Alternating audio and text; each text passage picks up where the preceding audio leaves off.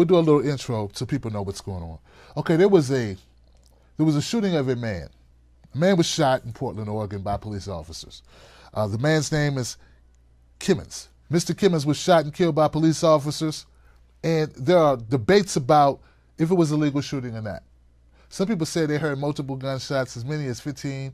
Some people say it was a lot less. I don't know if the coroner's report is back yet, but let's just say the people of Portland, Oregon are very suspicious about the police force. They're very suspicious that it's possible things not being handled the way they should be handled there in Portland. Okay?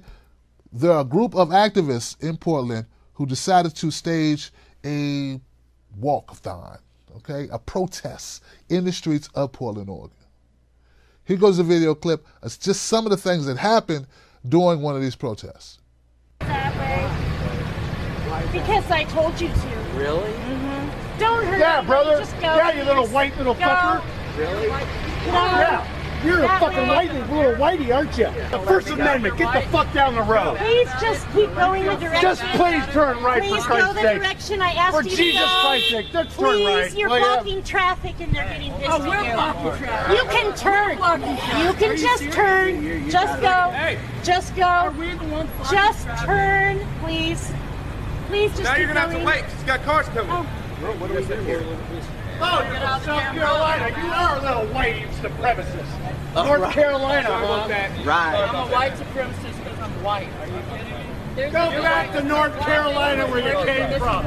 We don't need your KKK in Portland, Oregon. You can go where- KKK from North Carolina. Yeah. Someone shut the fuck up so I can speak. I got traffic. I got traffic. Asked me if I give a fuck. I was talking to him, not you. Thank you very much. But I'm in the middle. I'm in the middle. I'm in the middle of the, the intersection.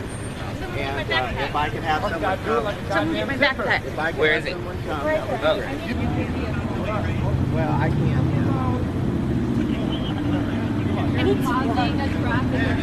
Well, they're blocking traffic. uh, Patrick, give it! Patrick, give it! Patrick, give it! Fucking dumbass! I dare you to hit me right now. I'll beat the shit out of you. I'll beat the shit out of you with him. Fuck him.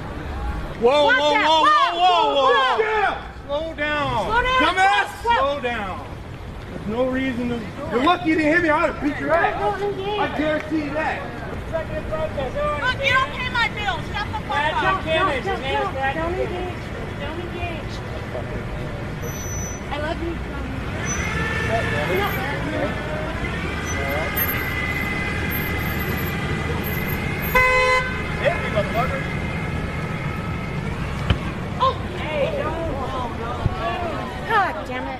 Before I get into how I feel about this demonstration, about the protest march, and I know this is just a snapshot, but before we get into how I feel about the protest march, I'd like to tell you a little bit more about the Kimmons shooting. Okay? The Kimmons shooting took place, or he was shot September 30th around 3 a.m. Portland Police Bureau Sergeant Gary Britt and Officer Je- Jeffrey Livingston heard gunshots from the side of their vehicles parked near, I don't know, I don't understand that. At the other end of the lot near the Southwest 3rd Avenue. I guess you got to be from Portland, Oregon to understand this. Two men were wounded. Police then saw Kimmons t- turn toward them or head their way holding a gun. This information, what I'm reading to you, is from the Oregonian and Oregon Live website. The officers yelled commands and fired at Kimmons with their handguns, striking him in the upper torso and leg. Between the sergeant and officer, 10 to 12 shots were fired. The police are, are waiting forensic analysis from the state on a revolver found near Kimmons to determine if he had that gun. Four other guns were recovered at the scene, but suspect Kimmons shot the two other men at the scene, sources say. Police officials have said that little public have said little publicly about the circumstances of the shooting, despite pleas from the Kimmons family and other supporters. So that's where we are with this story. Very little information has been sent out to the people. People are wondering what happened. Please explain. Give us more details. We have a dead young man. Multiple shots were heard. We we don't know. There has nothing been released officially about forensics. How many bullets entered Mr. Kimmons? What's the result? Do we know the idea of the gun that they say was used to kill the other two people that were at the scene? Did Kimmons fire on the officers? Did they see him with the gun? Did they see him fire on the two deceased? What proof do we have? What's going on? So this is all over the place. But here's what I got to say about this. If you looked at this video, you didn't hear all of that story that sounds very, very troubling, to say the least, right? I heard all this crap. I'm, I'm thinking, what kind of protest is this where you're threatening people that had nothing to do with the shooting at Kimmons? I don't understand it. I don't understand how it's beneficial. I don't understand what they were doing. First of all, why are you in the middle of the street directing traffic? Where are the police department? Why is there a, a, a permit for the march? I've been a part of marches. People get permits. Like, I know things go on in the streets. You can't control it. But don't jump in my timeline acting as if people threatening drivers of vehicles, minding their business. They didn't have anything to do with Kimmons. They might not even know what you're there for. Threatening to beat their asses. I mean, what kind of crap is this? I know a lot of places where if you are threatening people driving home or driving wherever they're trying to go and you're not you don't have any authority and you're threatening to pull them out the car and beat their ass well you know there may be more shootings that occur like right then and there.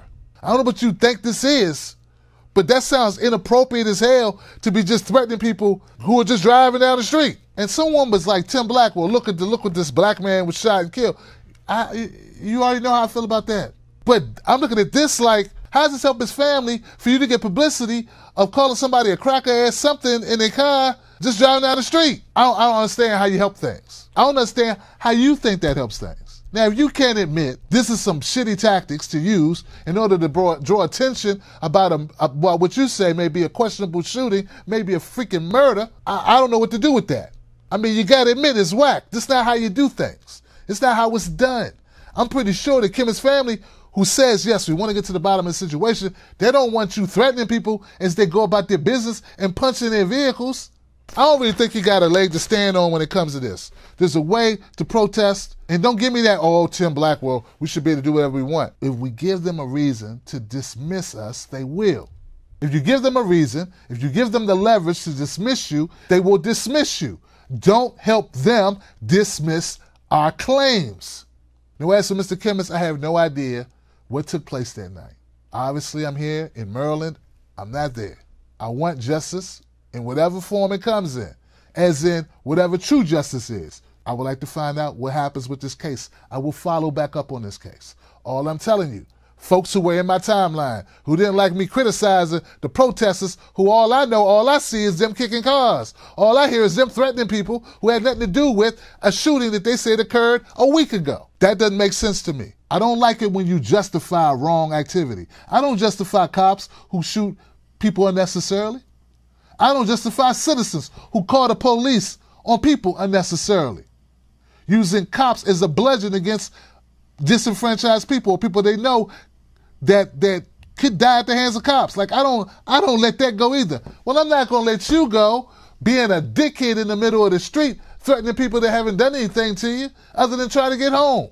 So I don't know what you think I am. I don't know what I have no idea. But I'm just telling you, that's not how I roll. I don't care for Trump supporters. I don't care for Antifa supporters. I don't care for Democrat supporters. I don't care for Green supporters. I just don't cave. And to the person who said, Tim Black, why don't you just go ahead and join the Trump train? To you, let me publicly tell you, let me respond by saying, until Jeff Sessions, until you, until you fuckheads can admit Jeff Sessions is bad for black people, until you can admit Donald Trump's policies of cutting social programs hurt poor people and black people, until you can admit that it's not corporate welfare, it's not welfare that that's the problem. It's corporate welfare that's the problem. We give more money away in subsidies than we ever give in food stamps. Until you admit all the all the above, I'm gonna have to tell you like this, Haas. That's gonna be a hard no for me.